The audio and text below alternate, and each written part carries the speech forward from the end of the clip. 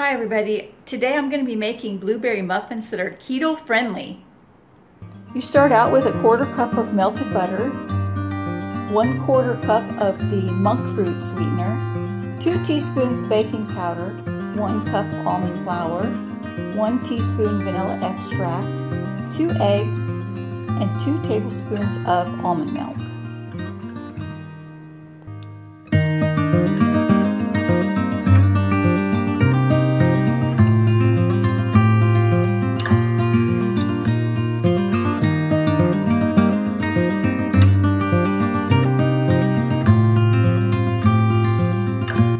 Next, you'll drop spoonfuls of the batter into your muffin cups. This recipe makes six muffins.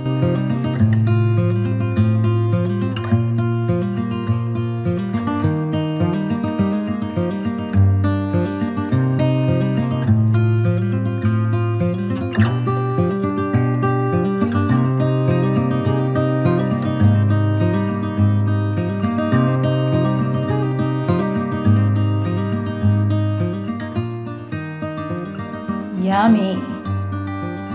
Enjoy.